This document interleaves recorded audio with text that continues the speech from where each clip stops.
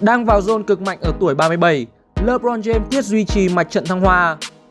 Hình ảnh một cầu thủ 37 tuổi phải gồng gánh cả đội bóng là không hay, nhưng nó vô tình mang đến một LeBron James như đang chơi ở một đẳng cấp hoàn toàn khác.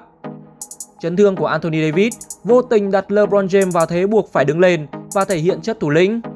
Là một vận động viên chưa bao giờ ngại thử thách, siêu sao của Los Angeles Lakers không ngừng khiến người hâm mộ phải kinh ngạc. Màn trình diễn 33 điểm của anh trước Brooklyn Nets đánh dấu trận đấu thứ 18 liên tiếp, LeBron ghi trên 25 điểm và là trận thứ hai liên tiếp anh ghi được 33 điểm. Đáng chú ý, 17 trong 18 trận đấu đó đều vắng mặt Anthony Davis vì chấn thương dây chằng đầu gối MCL. Câu hỏi được đặt ra là khi trung phong All-Star của Lakers trở lại, liệu LeBron James có nhẹ tay hơn trên hàng công để giữ sức hay không?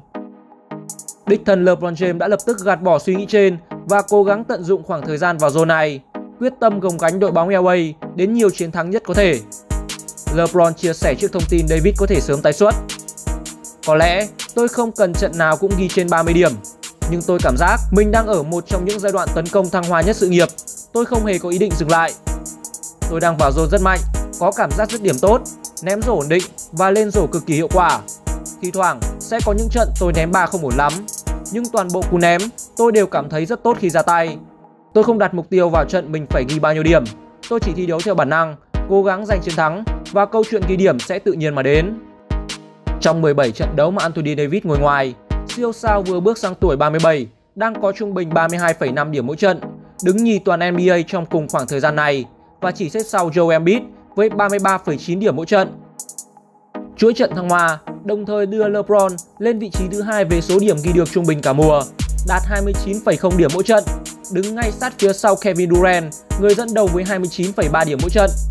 Tiếc rằng phong độ khủng này của nhà vua không chuyển hóa thành chiến thắng khi Los Angeles Lakers phải nhận đến 10 thất bại. Tuy vậy, hình ảnh LeBron gánh đội không thực sự mang lại niềm vui cho nhiều cổ động viên của Los Angeles Lakers. Khi để một cầu thủ năm nay đã 37 tuổi, đã chơi 19 mùa giải tại NBA, thường xuyên phải ghi nhiều điểm nhất mỗi trận. Điều đó chứng tỏ chất lượng của các vệ tinh xung quanh đang khá tệ. Huấn luyện viên trưởng Frank Vogel hiểu rõ điều này và hy vọng rằng Anthony Davis tái xuất sẽ phần nào giúp LeBron được giảm tải. Biết rằng LeBron đang cảm thấy ổn về mức tải mà cậu ấy chịu, nhưng chúng tôi vẫn thường xuyên tương tác để kiểm soát số phút thi đấu, thể lực và thể trạng. Lịch thi đấu sắp tới khá dày nên Anthony Davis trở lại sẽ giúp ích được khá nhiều cho LeBron, không chỉ trong tấn công mà còn ở khâu phòng ngự nữa.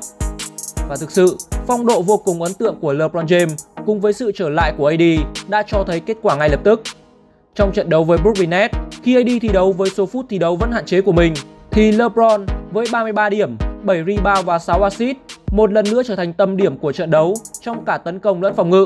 Qua đó, giúp LA Lakers giành chiến thắng trước đội bóng đang đứng thứ ba miền Đông với tỷ số 106-96. Mong rằng đây sẽ là khởi đầu cho cú nước rút đầy ngoạn mục của nhà vua cùng với đội bóng thành phố Thiên Thần để quay trở lại với cuộc đua vô địch.